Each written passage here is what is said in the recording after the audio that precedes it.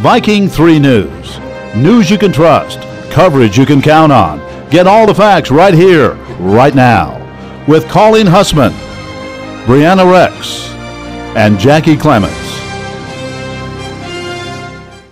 Good evening and welcome to Viking 3 News. I'm Colleen Husmann with my co anchor Bryanna Rex. In tonight's special, we are going to be covering the law of supply and the law of demand. The law of supply and demand. What an interesting topic, Colleen. Let's first start with the law of supply, Bryanna.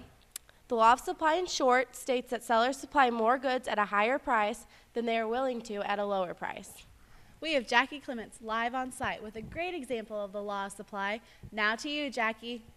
I'm here with Allison, CEO of Rainbow Hair Alterations. Hi, Allison. Hi. So, Allison, can you describe to the viewers exactly what your product does? Of course. Um, my product is an instant hair color changing product that does not damage the hair follicle in any way, shape, or form. I'll show you how it's worked. Great. It changed my hair from this to this in just an instant, just the way I wanted it. Wow, that is amazing, Allison. Your business has really prospered from this, yes? Yes, extremely. Because of the law of supply, I'm able to produce so much of my product for a higher price than if it was selling at a lower price.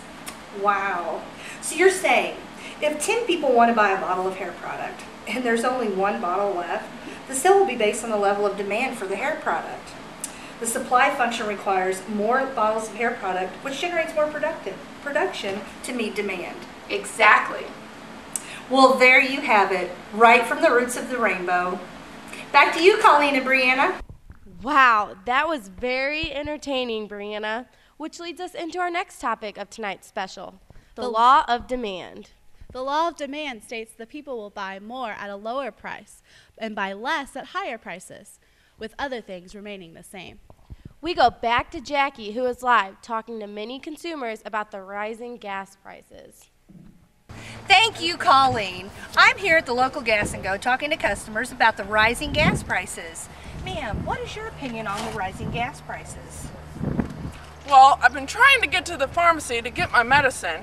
We all know this old body ain't walking nowhere. I understand. Huh. Maybe the pharmacies should think about a local delivery system. Oh, I agree, ma'am. I agree. Ma'am, have you noticed the time of year that the gas prices are better or worse? Well, I don't know about a time of year, but I do know that I remember when gas prices used to be a quarter. So, see, folks, hard times, hard measures. I'm here with Austin, who has worked so hard this past year to get his two week vacation. And now, with the rising gas prices, he is stranded home with no vacation. How does this make you feel, Austin? I'll tell you what, it's just downright not acceptable. Gas prices are going up. and These foreign people are taking over the oil companies. I ain't like it. I understand. You know, we all need time off work to get refreshed.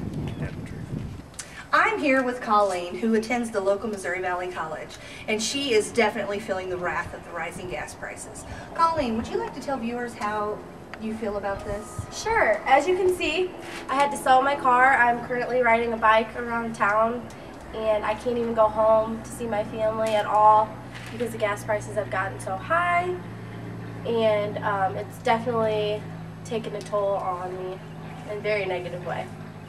You understand. An unhappy student makes for unpleasant grades. I'm here with Nick, who is seeking jobs, more than one that is, to keep his vehicle going. Nick, how is this affecting your jobs? Well, as you know, I work at McDonald's and at Casey's down the street. And I've actively been looking for a job outside of Marshall, but with, you know, the high gas prices, it just makes me feel broke. Like every penny I earn just goes right into the gas tank. And I can't get a job out of town because I can't afford to travel that way. I understand. Flipping burgers and salting fries just doesn't cut it these days. So, how do you feel about the rising gas prices? Well, it's not only affecting me, it's affecting my family also. Well, how does the rising price affect the amount of gas that you purchase?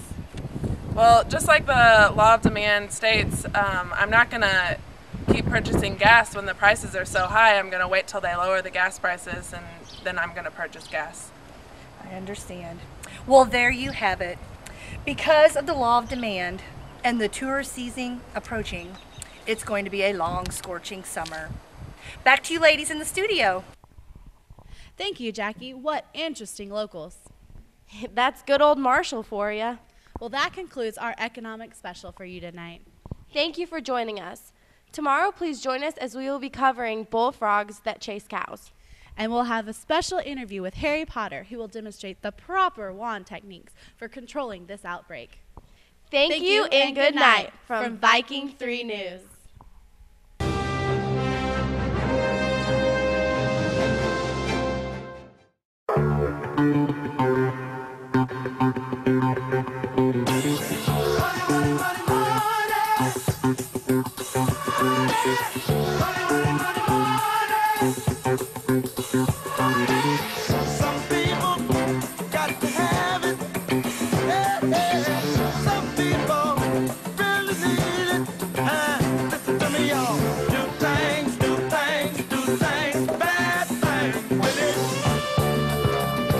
Dollar bills, y'all.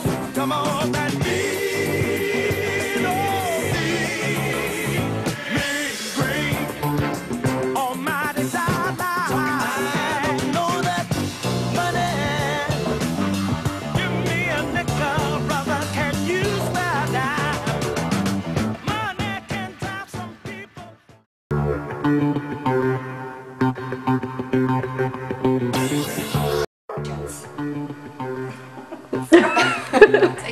Extremely. Because the uh, supply of Gas prices affect these stupid measures. Some people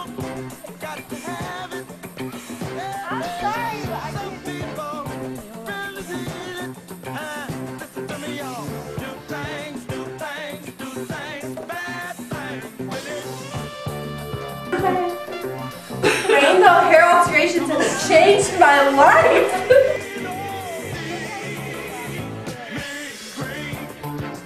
Almighty dollar. I know that money. I'm gonna change my hair from this. I'll show you right now.